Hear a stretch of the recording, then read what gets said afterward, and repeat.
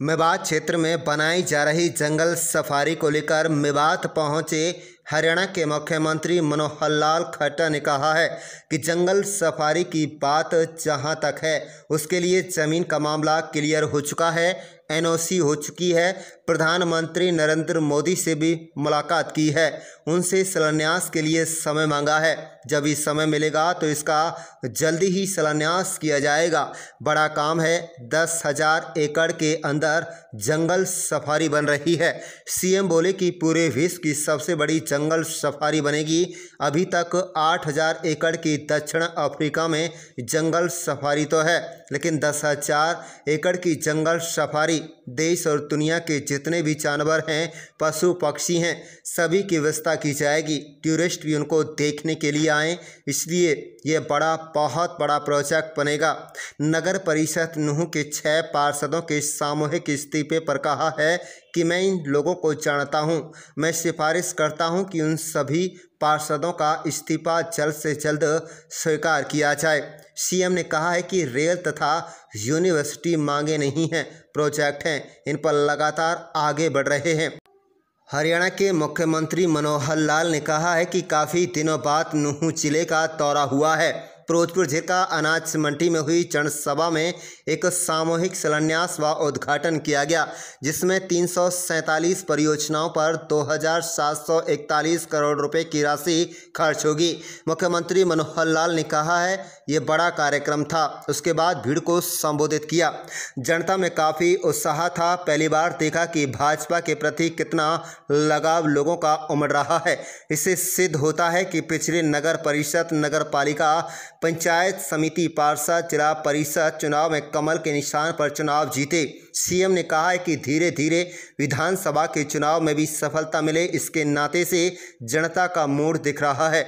उन्होंने कहा है कि नुह पिछड़ा जिला है। बहुत से पैरामीटर्स को लेकर के साल में एक मीटिंग स्वयं करने आता हूँ। इसी को लेकर आज अधिकारियों के साथ बैठक की गई है। शिक्षा, स्वास्थ्य, कृषि, बागवानी राष्ट्र इत्यादि विषयों पर विस्तार पूर्वक चर्चा हुई है। इंफ्रास्ट्रक्चर को लेकर के यहाँ के लोग काफ़ी प्रसन्न हैं।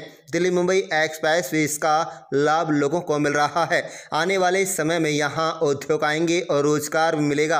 उसी को लेकर एक बैठक आला अधिकारियों के साथ हुई है।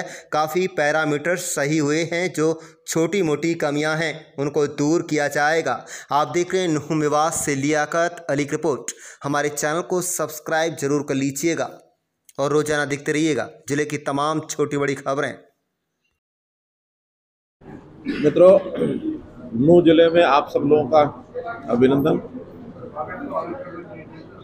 बहुत दिनों के बाद यहाँ ज़िले में मेरा आना हुआ। मुख्य रूप से एक कार्यक्रम जो फिरोजपुर झिरका में था और उसमें एक सामूहिक शिलान्यास उद्घाटन तीन सौ, कितने प्रोजेक्ट थे? तीन सौ सड़सठ। थ्री फोर्टी सेवन तीन सौ सैंतालीस प्रोजेक्ट कुल थे हरियाणा के, जिनका शिलान्यास और उद्घाटन हुआ। कुल उसकी जो कॉस्ट सत्ताईस सौ इकतालीस करोड़ रुपया। यहाँ से किया गया। बड़ा कार्यक्रम था, देशव्यापी था। और बाद में फिर मेवात के नाते से जो प्रोजेक्ट्स यहाँ उद्घाटन शिलान्यास करने थे, वो भी किए। जनता को संबोधित किया। मुझे खुशी है कि जनता में उत्साह बहुत था। पहली बार मैंने देखा कि भारतीय जनता पार्टी के प्रति इतना लगाव उनका बढ़ रहा है। अब वो इससे भी सिद्ध होता है कि पिछले स्थानीय चुनाव में नगर परिषदों में हमारे बहुत लोग आए, पंचायत समिति, पार्षद बहुत आए, जिला परिषद को कुल मिलाकर के भारतीय जनता पार्टी कमल के निशान के ऊपर ही हम लोगों ने उस पर अपना एक प्रकार से वर्चस्व अपना बताया, जताया है। हमारी यहाँ जिला परिषद की इकाई बन गई है। अब धीरे धीरे आगे विधानसभा में भी हमें यहाँ सफलता मिले, इस नाते से लोगों का मूड दिख रहा है। साथ ही क्योंकि नू जिला एस्पिरेशनल डिस्ट्रिक्ट है तो यहाँ बहुत से पैरामीटर्स को लेकर के साल में एक मीटिंग में स्वयं करने आता हूँ। आज उस एस्पिरेशनल डिस्ट्रिक्ट को लेकर के मीटिंग थी। चाहे उसमें फिर शिक्षा विभाग, स्वास्थ्य की दृष्टि से भी सारे काम एग्रीकल्चर के नाते से फाइनेंशियल इंक्लूजन के नाते से, ये सब विषयों के ऊपर चर्चा हुई इंफ्रास्ट्रक्चर भी। इंफ्रास्ट्रक्चर को लेकर के यहाँ के लोग बहुत प्रसन्न हैं, खास करके ये जो दिल्ली मुंबई का जो एक्सप्रेस वे इसका लाभ मिला है। यहाँ बहुत लोगों में प्रसन्नता है, इसके कारण से यहाँ उद्योग भी आएँगे, लोगों को रोज़गार भी मिलेगा।